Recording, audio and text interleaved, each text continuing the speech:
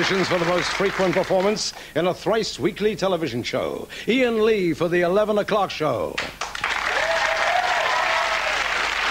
Daisy Donovan for the 11 o'clock show. Mackenzie Crook for the 11 o'clock show. And David Copperfield for Three of a Kind. And the winner is Daisy Donovan.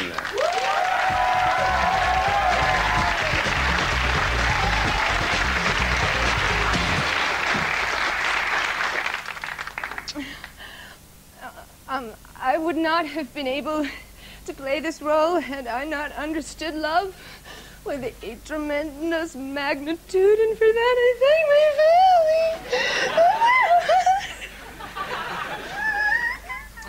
I think we all agree that David Copperfield was robbed there. Welcome to 11 o'clock show on Tuesday, the 23rd of March. And here with nominations for the day's best news stories in a humorous context is Mr. Tommy Vance with his news slam. Tuesday, March the 23rd. And it's war. NATO's ready to rumble. The UN are fleeing. Targets are fixed. And the locals are leaving as fast as they can. It can all mean only one thing. Clinton's covering up for another blowjob. From a planned battle to banned cattle. And the Yanks hit back at the Euroban on US beef. We don't want their hormone ridden heifers, so they've banned our jam. They must be mad. It's the fruitiest, tastiest preserve in the world. And it doesn't make you grow tits and hair on your back. From hormones to a whore's moans. And Fergie spouts off about losing her house. She says she can't afford the upkeep. £80,000 a year. Oh, diddums. You should have thought about that before you stuffed your guts with cake. Wham, bam! That's my slam.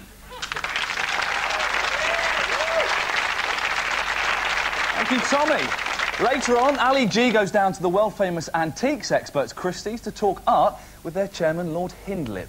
Who is the best artist in the world ever? I thought about that a great deal, and I haven't made up my mind yet. Have you heard of Tony Art? Tony Art. Got time to have a quick look at some of the shorter stories we found in the paper over the last few days. Holyfield claims victory after analysing video of Lewis's fight. That is complete bollocks. Daisy, what is that? Bollocks. Mackenzie? Bollocks.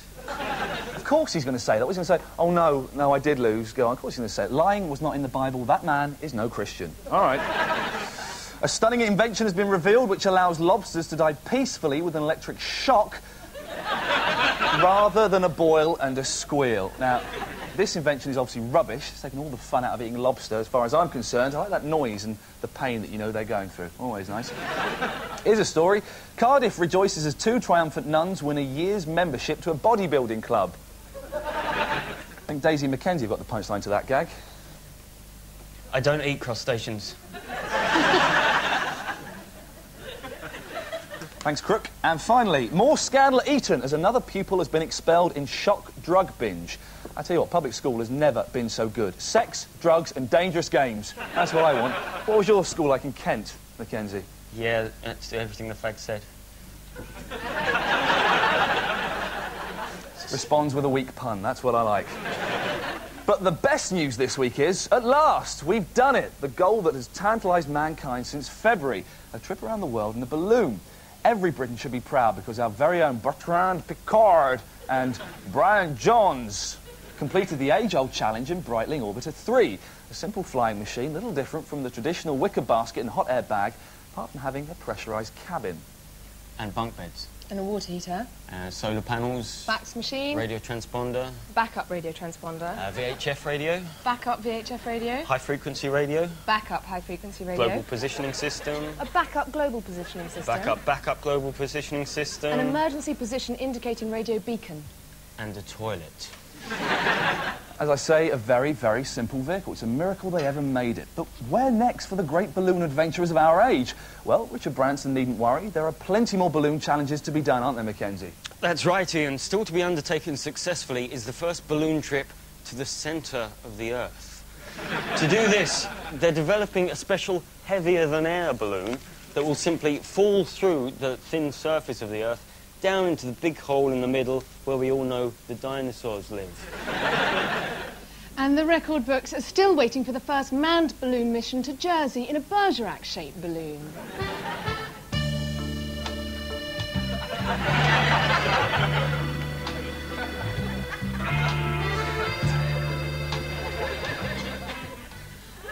But the real ballooning glory lies with the first manned balloon mission to land on the surface of the sun. Richard, if you're watching, we'd all love you to have a go at that one. Be a real crowd pleaser.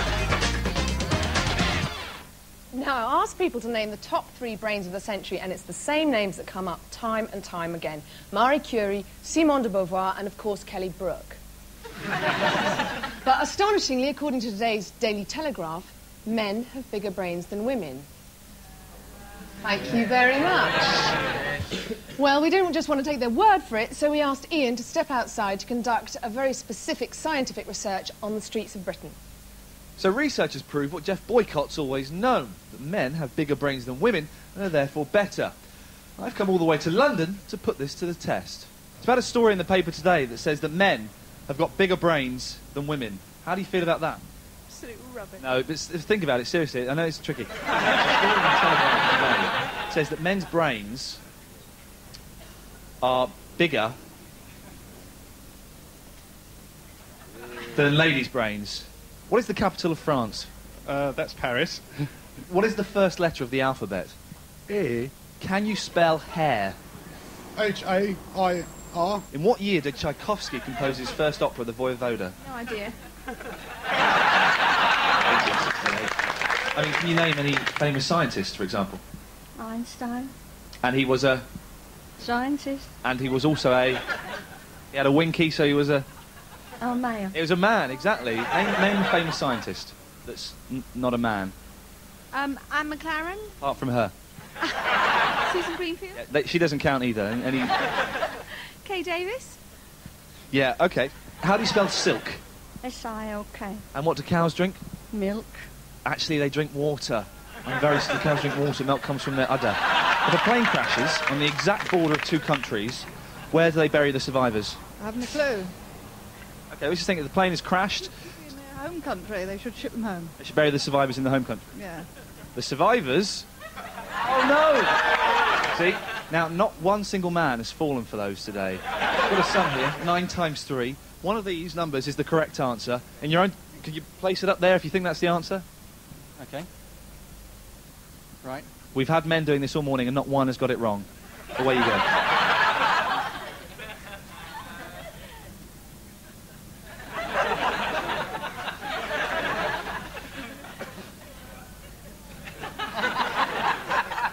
Away we go, 93. Um, we'll go for that one. So you're saying, just read out the sum and the answer? 9 times 3, 29. So there we have it. After rigorous scientific experiments under laboratory conditions, it turns out that we do have to agree with our American colleagues just this once. Men's brains really are bigger than women's, but women have nicer tits. And that's why we love them. This has been Iain Lee, the 11 o'clock show, London. Science. It's science. It's science. Ladies, ladies, calm down. Now, listen, we've scientifically proved there that men have bigger brains than women, therefore men are more intelligent, Daisy. Ah, ah, ah. Ah, ah, ah, ah. Mackenzie. Well, you've certainly got a big brain, haven't you? You hoodwinked quite a few people. I did hoodwink quite a few people there, yeah. You bamboozled them. Yes, I didn't you? did bamboozle them. They're probably going to be well nonplussed. Very. Mackenzie, I'm going to stop you there, actually, because you've, you've totally disproved everything I said to point out in that video. Can I just say something? Yeah. You don't have a girlfriend. No. You don't have a girlfriend. No. And you live together. Yeah. That's all I'm saying. Now, what the hell's wrong with this woman? She's just won a bloody Oscar and all she can do is blub. Anyone would think she'd just seen Judi Dench in The Nud. But love her or loathe her, apparently we all want to be her. The Express claims it girls have had it, Ladettes have passed it, the woman who's got it is a Gwyneth. The Gwyneth, a new type of new woman for the new millennium new. So, how do you spot one? Find out now with our exclusive quiz Are you a Gwyneth? Question one. You're watching a European football match when your reception goes on your telly. Do you A. Clamber onto your roof, try and adjust the aerial and forehead thrust through your conservatory. Or B. Burst into tears and thank you, Mum. Question two. You're a trucker, angry at the price of diesel. Do you A. Follow your foul-mouthed, sweaty mates into Park Lane and shout from the cab of your daff at startled Arabs. Or B. Seize the opportunity to mention your dead cousins and hug Jack Nicholson. And question three. You're attempting to balloon round the world. Do you A.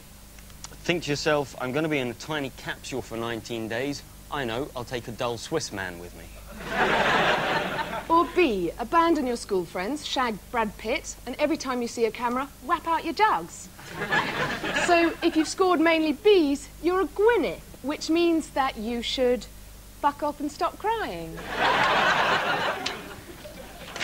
After all the upheavals of the last week, it's been revealed that Tony Blair's choice for president of the European Commission is ex-Italian Prime Minister Romano Prodi. He reckons that an Italian politician is just the safe pair of hands we need to tackle sleaze, backhanders and institutional corruption. but what does Britain's future generation think? To find out, I went back to school for a lesson in Europe. Here's my report card, sir. Stop, children, what's that sound? Everybody look what's going down. We are the world. We are the children. Well, we're not, but the children are. That's why I've come here to Stratton Wells Primary School to ask tomorrow's potential xenophobes just what they think about their European brethren. What countries are in Europe? Let's have a list. Germany, Yep. France, Russia, Yep. Belgium, USSR. What famous people from the TV do you think should be in charge of Europe? Michael Barrymore. Why He's funny. He's very funny, isn't he? Robbie Williams. Why would Robbie Williams be Not because he's a good singer, but because he'd go so wacky and everywhere would be made out of beer. What other food they eat in Europe? Um, French bread. Bladders, French bread. eyeballs. Can you name the country that eats poo? Do you know the name of the country Holland. Yep. Holland right there and Belgium. Holland, Belgium and France eat poo. Okay, what is the worst country Um, in Europe? um, Now, think good and hard. Germany. Why do you think Germany is the worst country in Europe? Because They they like to start wars. Hmm. Germany's not the fun because they invaded Britain, of course. Italy. What do you think? No, because it's, it's no, it's in Italy. They're Italy so do they're sexist. They're sexist in Italy. What's wrong with being sexy? There's nothing wrong with that, is there? Sexist. I'm sorry. Tell him what you think about France, why you don't like France. France. All, all it's about is about love, paintings, out of fashion. That was a long time ago, so I don't think that should be in this discussion. If they just wrote a letter, dear boys, your school is rubbish and we could have you in a fight. Yours, the Frenchies. What are you going to do? Bust them up. How? Yeah, or rip off their hair, yeah, impale them, yeah, impale them really slowly. yeah, of course. There will be some Europeans watching this when it goes out. Oh. Have you got a message for them? France, make your toilets bigger. Now, it's been a fantastic few days for Britain. We've swept the boards at the Oscars, we've let the final hurdle in manned ballooning, and Fergie is homeless again. Hooray! But some people are never happy. The Nation of Islam never have a smile on their face, so we sent them on a day out to have a bit of a laugh. And see you after the break when Ali G discusses art with the chairman of Christie's. We're all going on a summer holiday. No more working for a week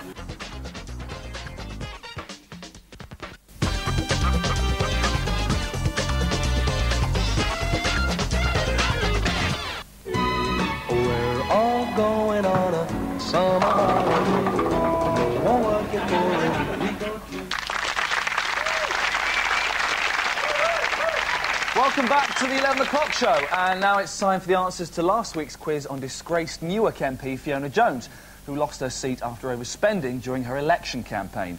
Question one, the answer was double the declared amount of expenses. The answer to question two was not, as many of you thought, a genuine mistake that anyone could have made. It was, in fact, fraud. Bit of an ugly word, that. Let's move on. Question three 20,000 Vote Jones bumper stickers, 15,000 Newark Needs Jones posters, and a free biryani for every Jones voter at King Curry, 15 The High Street, Newark. And question four, the answer was yes. The phrase Blair Babe is patronising, and in this case, highly inaccurate. and the winner is a Mr. P. Condon. Congratulations, Mr. Condon. You win a video box set of the popular barbershop sitcom Desmond's to watch while you recuperate. Get well soon. If you're watching this show, chances are you're a borderline retard. According to the Daily Mail, that is. Funnily enough, not a review of the show, but this report on sleep deprivation, which claims that too little sleep and you're a dimwit. Scientists warn that staying up late is turning Britain into a nation of borderline retards. That means you. And it's their words, not mine, so you can't hit me. I personally find that term quite offensive. Anyway, the report is obviously inaccurate. My good friend Mackenzie never sleeps, and he's fine. Not the best example, but we're not scientists. However, Neil Stanley is. He's the head of the sleep laboratory at the University of Surrey, and here he is, Neil Stanley. Let's hear it. Hi, Neil. Good to meet you. Neil, you are a genuine sleep deprivation expert, aren't you? Yeah, I've been involved in sleep research for about the past 17 years or so. Matt, you've heard the report that too little sleep makes you, makes you a borderline retard. What do you think about that? Well, I think it's common sense that if we're tired, we perform worse, but um, I think there's nothing much more to it, to be honest. Mm. So you think it's a bit of huff and puff and nonsense? Yeah. Another thing that concerns me, tortoises, they sleep all year, all year, and they're the most stupid creatures. They have to have their names painted on their back in, in, in ink. But they do live for a long time, so there must be some benefit. Mm, yeah, but they're as thick as pig shit. well, OK. Now, how long do you, do you think we could keep Mackenzie awake before he died? It's probably not very ethical to do it. Well, it's, the thing is, with, with Mackenzie, ethics don't come into it. He's a human walking guinea pig. About 40 days. 40 days? Yeah. And he would die? Probably. I mean, he'd, he'd become sort of acting as though he was very drunk and, and disorientated, and then he'd finally die. So maybe five days in Mackenzie's case. Five days. Mackenzie, the record's, the record's 40 days. What do you reckon? I'll do it in 35. Yeah? Yeah. There you go. Serious question now. Should humans hibernate? Um, I'm not sure the bosses would like it, but uh, I wouldn't mind. The bosses? Well, they're- Are you mental? Have you got a mental man in? No, he's not? OK, well, carry on, fine. I don't know who the boss is. Finally, how clever was Sleepy Bagpuss? Probably very clever. Yeah, slept all the time. In a library, do you think you can absorb information just from being in a room full of books, do you think?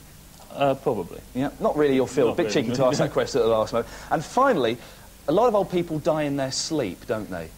Most people do, actually. It's the biggest... Really? Most people die in their sleep. Sleep yeah. is the biggest killer of people. Yep. Now, I think that nearly everyone in this room, everyone in this room goes to sleep at some point. You're all fucked. so, according to that, if we all go to sleep, we're all going to die. Ladies and gentlemen, Neil Stanley, sleep expert. Thanks a lot, Neil. Thank you very much. Cheers. As we already said, nothing can go wrong for Britain this week, and now even more good news.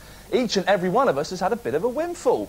Reporting the Times today that a £9 million Van Dyck portrait has been left to the nation.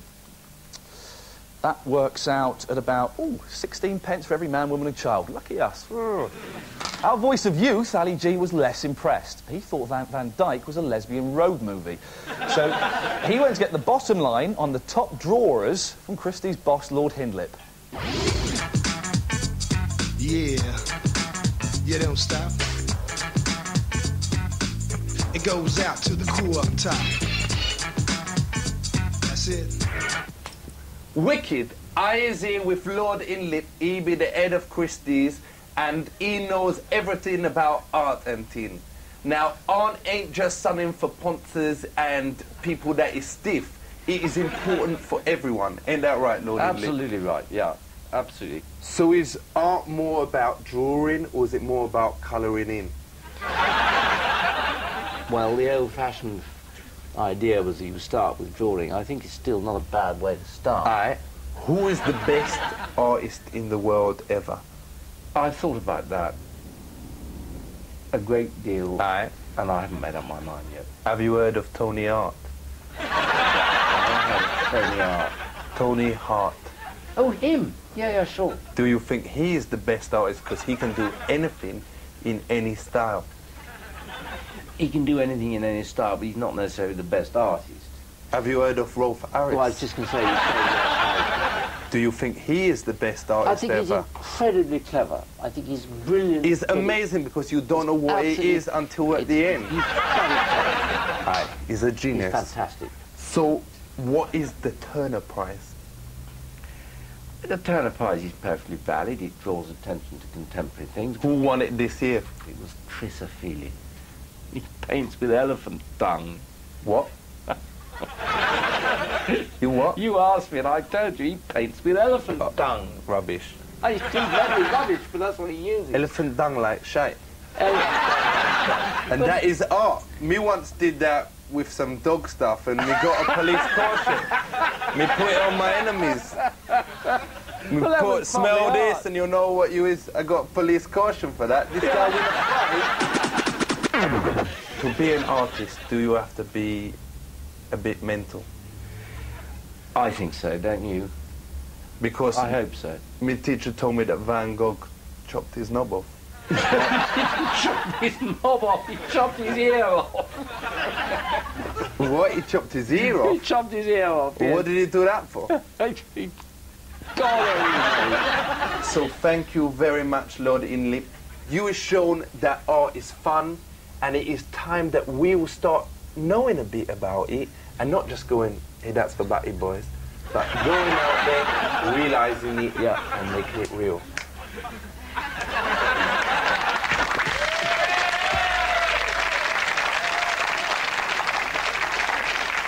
London was brought to a standstill yesterday. The truckers were in town protesting against rising fuel prices and road tax and threatening to leave Britain for the continent. The papers are full of it, but are we getting the whole story? Let's find out what the papers ought to say in our regular feature, What the Papers Ought to Say.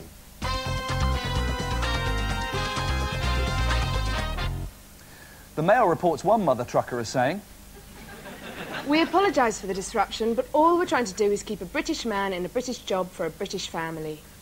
when what they meant was, We don't apologise for the disruption. All we're trying to do is keep a fat man in a cushy job for his grubby family. The Telegraph quotes a lorry driver as saying, I'm looking at Holland because it will save me £120,000. when what he meant was, I'm looking at Holland because it will save me a fortune in porn and dope. and finally the Mail says, The majority of motorists were on our side and tooted their horns and gave the thumbs up. when what they should have said was, The majority of motorists tooted their horns and told us to get out of the bastard way. and we've just got enough time left to congratulate Salman Rushdie on his recent successful eye surgery. Should frighten off a few Muslims. That was Tuesday the 23rd of March. See you tomorrow for Wednesday the 24th. Good night, my two young friends. Good night.